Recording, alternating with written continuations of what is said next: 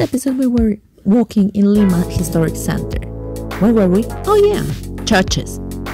This is San Pedro Church. This is one of the main churches, but this one is from the Jesuit congregation. Uh, well, it's closed now, so we unfortunately can't go in. And seems like there's going to be a wedding because there's too many people dressed up around here.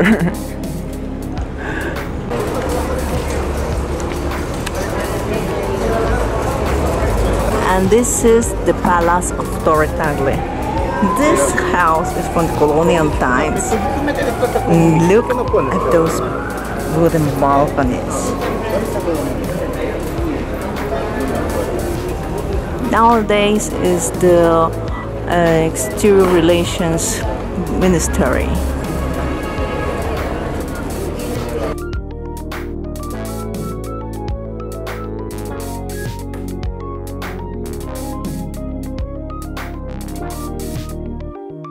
There are some other colonial houses, for example, Lviv or the Goyeneche house, all of them in the same street as Torre Tagle.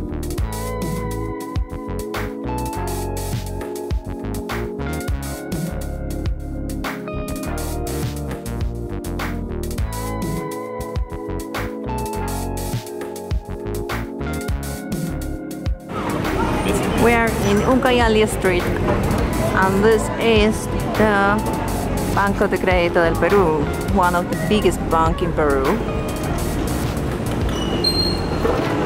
And right in front we have the uh, museum, the Museum of the Banco Central de Reserva, the um, central bank from the state bank. Lima Center used to be the financial area of the city in the beginning and the midst of the 20th century, so it's not surprised that the stock exchange building and some of the most important banks of the city are here. Nowadays, the Visa Bank is a good place for coffee, and also there are some shops, and you can sit here and rest for a while in your walking tour. And here the streets have these um, particular names, alternative names. But these are the old names of the city of these streets, and you can find here the explanation. So maybe you can take a look at these signs when you walk here. You can find interesting facts on it. This is one of the other important churches in Lima. This is the San Agustin Church, and you can see this beautiful, exquisite facade.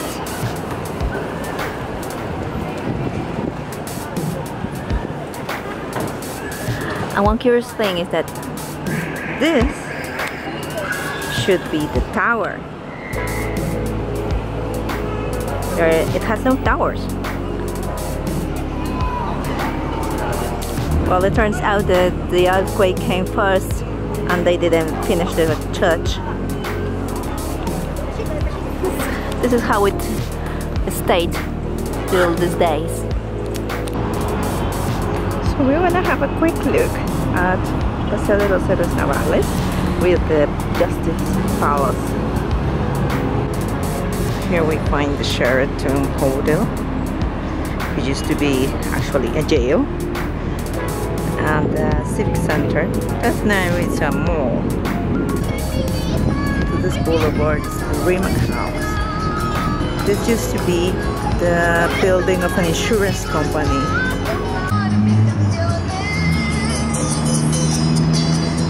Looks like we're gonna be in a video clip. On one side of this place there's the Museum of Italian Art to give the Italians for our 100th anniversary of independence. We will cross the street to the Art Museum of Lima that is called now the Mali. It was built in the early 20th century and it was designed and brought from the Eiffel workshops in France. It was it came here by ship and it was assembled here in Lima. It's made out of a, a structure of iron and everything else is just covered with brick and um, plaster. This is the park of the exposition. It was made for the exhibition in, the, in Lima in the early 20s.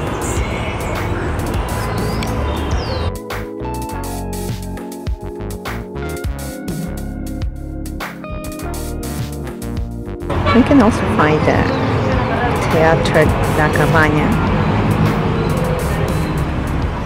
and the open theater. In this park we can also find a gift from the Chinese because of the 100th anniversary of the independence of Peru and it's the fountain that is behind me. Yeah, it's called the Chinese fountain However, it doesn't have much of Chinese in it. It's more like Italian style, but it's from the China. And to finish this day in Lima Center, the best thing is to end it up here at Parque de las Aguas, the water park. Parque de la Reserva was founded in 1929 and it was closed for many years until 2000, 2000 something. And then they built 13 fountains that we are going to see today. And it has the record Guinness of the biggest fountain park in the world. And we're gonna check out each of them. A rainbow is water and light. And here we have water and light. Some of the elements of the original park are still here. For example, this statue of Fermin Francis. Look at this fountain. And we can take a shot from the inside.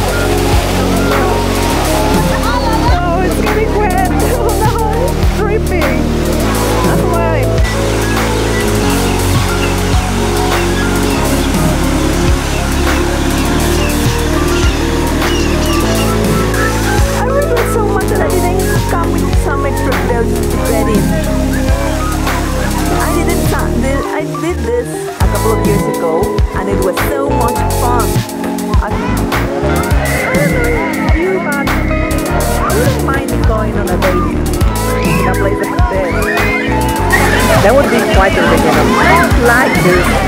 It would be fun. and this is one of the other fountains where you can get in. But this one is the children one. Unless you are under 11, you can go in.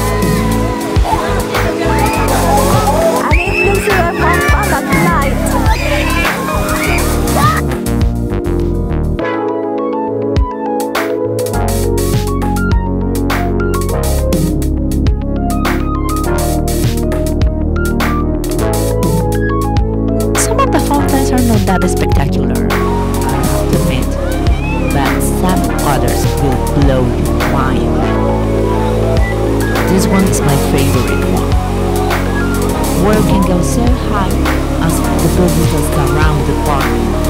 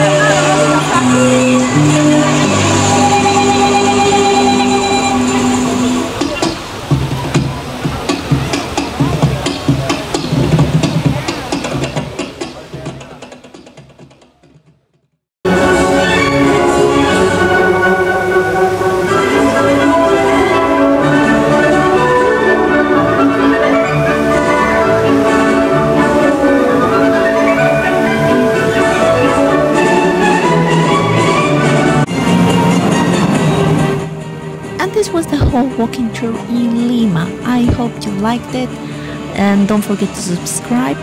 I'll see you next week where we will go on a boat in a trip on the main port of the country. So see you next week. Bye.